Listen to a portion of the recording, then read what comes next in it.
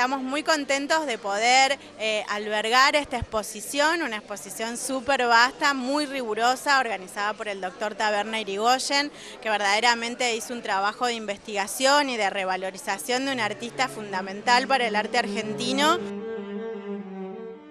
Nacido en Soledad, provincia de Santa Fe, el 26 de agosto de 1942,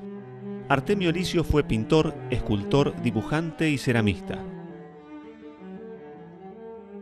Acá lo vemos expuesto en todo su esplendor. Eh, la verdad que están em, descriptas todas las técnicas que el artista usó. Con sus tintas, eh, con su textura, con la serie del Popol Vuh y la última serie de los la última serie de los magos que él realizó. O sea que es una muestra panorámica que muestra toda la actividad que el artista desarrolló en su época más madura de producción y realmente lo muestra Artemio como el creador que era y como el inventor de esas recreaciones que él mismo decía que él, por ahí no creaba, sino que recreaba lo que veía, lo que asimilaba y lo que los ancestros nuestros, en el caso de la serie El Popol Vuh, nos dieron. Esta muestra reúne 116 obras del año, eh, desde el año 1970 al 2005, es decir, este, un periodo importante y es una muestra antológica, no retrospectiva, eh, que eh,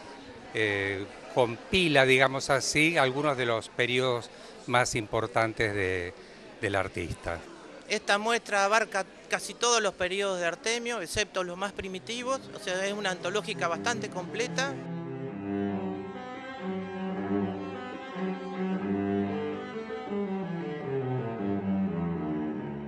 Ah, es una muestra para disfrutarla, para ver el detalle y para, bueno, gozar de la imaginación de, Artemio, que, bueno, como vuelvo a repetir, es un exponente eh, justamente valorizado en este momento. Que es una obra, por de pronto, de una gran originalidad, no solo temática, sino también el lenguaje expresivo que,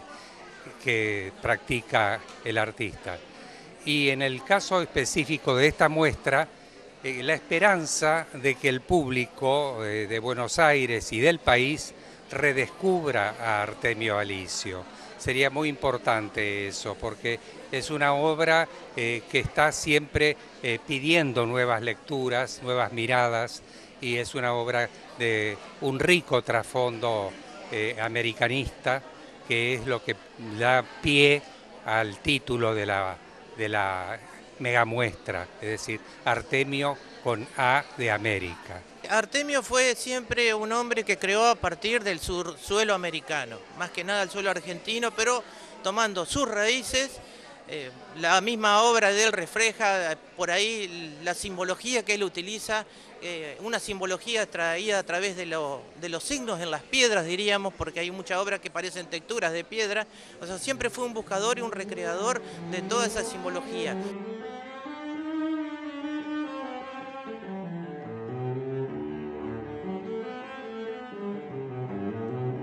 En 1989, creó el Museo Provincial de Dibujo, con sede en Concepción del Uruguay, y fue nombrado para organizar el museo.